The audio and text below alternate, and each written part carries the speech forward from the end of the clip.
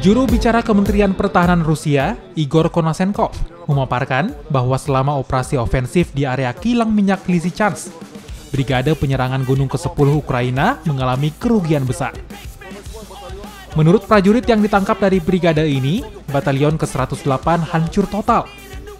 Dari 350 orang unit ini, hanya 30 personil militer yang tersisa.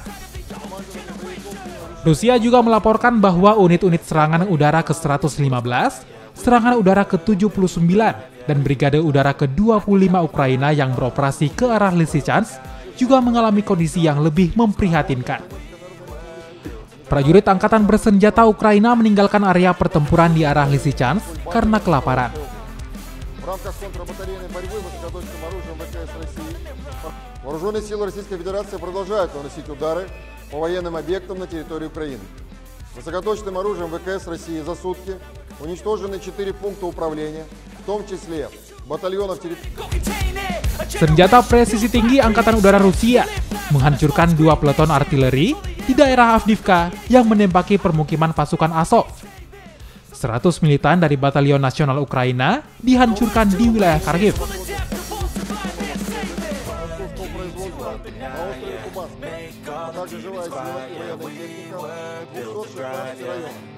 Оперативно-тактическая альянс ВКС России в районе Баштанки Николаевска и средствами противовоздушной обороны за сутки сбиты два самолета Су-25 в районе Курулька Харьковской области, Вихневое Херсонской области и вертолет Ми-8 воздушных сил Украины Komando para militan memutuskan untuk meninggalkan posisi mereka. Senjata presisi tinggi Angkatan Udara Rusia menghancurkan dua peleton artileri di wilayah Avdiivka yang menembaki kamp militer Ukraina. Komando militan Ukraina memutuskan untuk meninggalkan posisi mereka.